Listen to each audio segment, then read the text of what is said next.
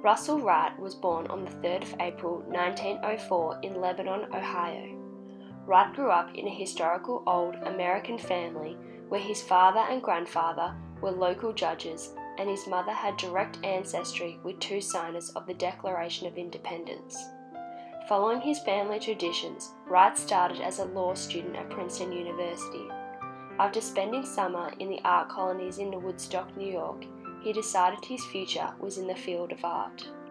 Between 1921 to 1939, Wright studied at multiple schools. He was a student under Frank Duveneck at the Cincinnati Academy of Art, a law student at Princeton, a student at the Columbia School of Architecture, and a student at New York University School of Architecture. During the one year he spent at Princeton, Wright accomplished numerous Tiffany & Co. awards for outstanding World War I memorial sculptures. This led to a job offer in 1924 as a set designer for Norman Bel Geddes. His involvement with the theatre directed future work with George Cukor, Robert Edmond Jones, Lee Simonson, and Rouben Mamoulian. Unfortunately, at the end of 1927, Wright lost his communication with the theatre when it became foreclosed by George Cukor, an American film director. However, during his time in Woodstock, he met his wife, Mary Small Einstein, a designer, sculptor, and businesswoman. Collectively, the two went on to form Wright Accessories. The company produced home accessories created by cast metal and spun aluminium. In 1941, they received their first award, the American Designers Institute Award for the Best Ceramic Design of the Year, for their art piece, American Modern. In the year 1950, the couple conceived their first child, Annie. This was a big year, looking after their firstborn, but also the production of the pair's first book, the best selling guide to easier living. The book illuminated different styles for houses, but also how to reduce housework and increase leisure time. Great loss came in 1952 when Wright's beloved wife passed away, leaving him to raise their daughter on his own. Wright spent 10 more years in the design field before retiring to his 75 acre estate in Garrison, New York.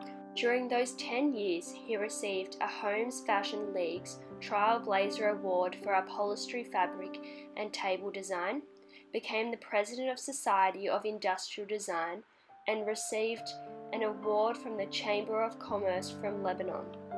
Once Wright retired to Manitoga, his daughter Annie continued the family business, managing new designs and products through his studio.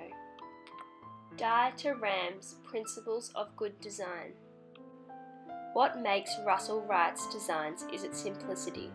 The use of organic curved lines and earthly tones illuminates the functionality of the product. The minimalistic design is timeless. Although the shapes are simple, it is still aesthetically pleasing to the eye, making it suit any style of home, even in today's society.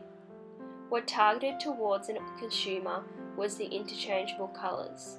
These sets consisted of six softly vibrant colours, meaning it would suit anyone's home. This collection resulted into 14 million pieces sold worldwide.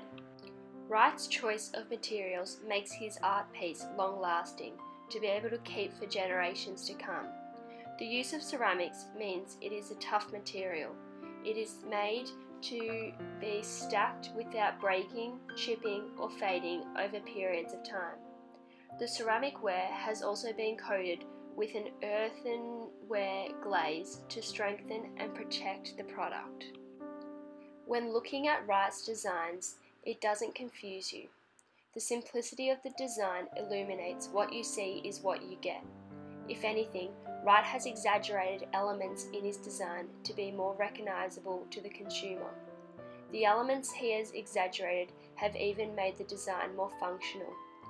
Wright has done this with the jug, where he has included a teardrop shaped pitcher and a elongated spout. In this teapot design, he has created a bigger handle to create less risk of burning yourself from the boiling water. In 1937, there wasn't anything like what Wright had created. He was one of the first to step away from plastic and create a modern revolutionary design. The dinnerware was inexpensive, allowing anyone during this time to be able to afford it for their house. His designs were unique, using biomorphic forms that are still sold to this day by Bauer Pottery.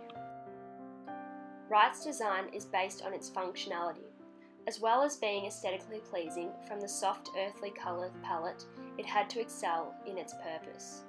His ceramic plates lifted around the edges to create a shield so no food would fall off, as well as being spacious, allowing a lot to fit on it. From looking at Dieter Rams' principles of good design, it has made me realise for my own work to keep it simple and have as little design as possible. By doing this, it illuminates design even more, making it memorable to an audience. In the future, I wish to use Rams' principles as a checklist to try and create the best design I can.